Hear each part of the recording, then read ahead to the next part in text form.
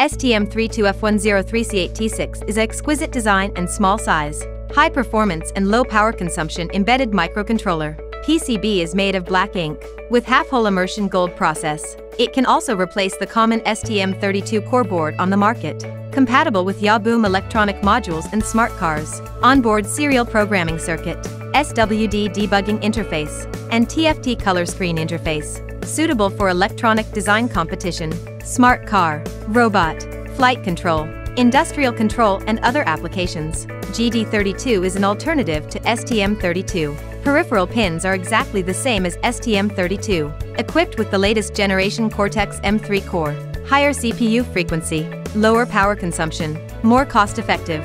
STM32 has more I.O. pins and timers, with 64-pin pin interface, suitable for application scenarios that require the use of multi-pin resources.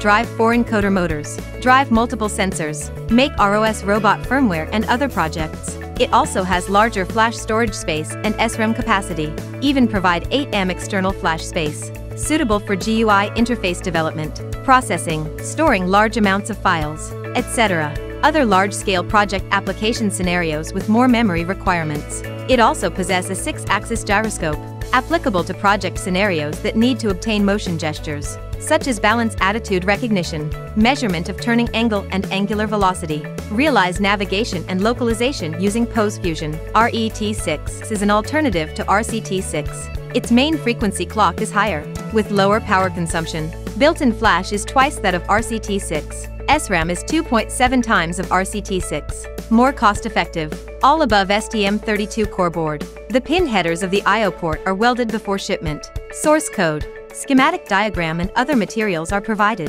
Yahboom will provide best technical support services.